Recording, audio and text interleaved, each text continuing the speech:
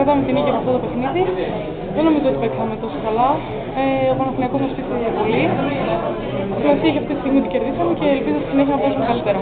Ο προπονητής σας είπε ότι το μεγαλύτερο όπλο μιας ομάδας είναι όποια κοπέλα μπαίνει μέσα να μπορεί να κάνει τη διαφορά σε συγκεκριμένα σημεία. Είδαμε κοπέλες που δεν θεωρούνται βασικές, στο δεύτερο σετ το γυρίσαν εκείνες με τη δική τους συνεισφορά. Πράγματι είναι ένα από τα σημαντικότερα κομμάτια μιας ομάδας αυτό, να είναι οι κοπέλες της άξης. Βέβαια, γι' αυτό η ομάδα αποτελείται από 12 άτομα και όχι από 7 που παίζουν. Κάθε ομάδα, κάθε επέκτητα είναι να είναι έτοιμη να βοηθήσει την ομάδα και αυτό έγινε και σήμερα. Ε, τα δικά σου συναισθήματα γύρισες ε, αντιμετώπισης την πρώην ομάδα σου; Ήταν λίγο περίεργα στην αρχή, ήμουν νομίζω λίγο σκοτωμένη. Εντάξει, όμως δεν, δεν πρέπει να με επηρεάσει αυτό, ούτε να μην. Κοιτάω τι γίνεται.